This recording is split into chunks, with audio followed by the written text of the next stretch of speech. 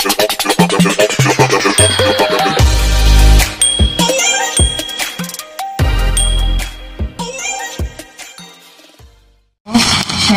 ayan, naakit tayo sa mga produkto ni iWhite. so, ayan, bumili ako ng Aqua Moisturizing. Ayan, ah, Aqua Moisturizer, whitening. Ayan. Tapos, ang mura lang kasi, ang mura lang. Nasa 20, 22, ganun lang yung price niya. Tapos, whitening, uh, iWhite Korea Whitening Sleeping Cream Mask. So, ayan.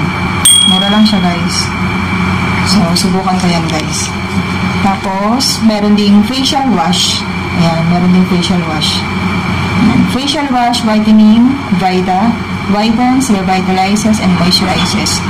Whitens and improves skin skin condition. Ayan.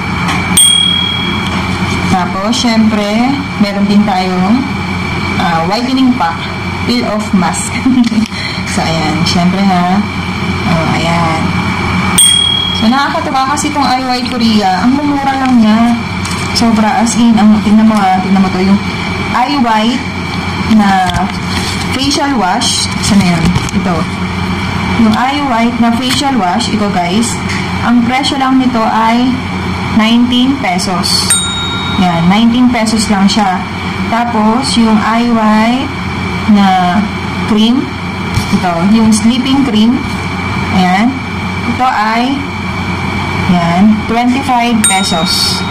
Yan, 25 pesos lang yan. Tapos, saan yun? Yung eye white na uh, pack. Saan na yun? Ito, yung whitening pack. 23 pesos. Yan guys, 23 pesos lang yan. Yan. Tapos, yung moisturizer cream, ito ay 22 pesos lang.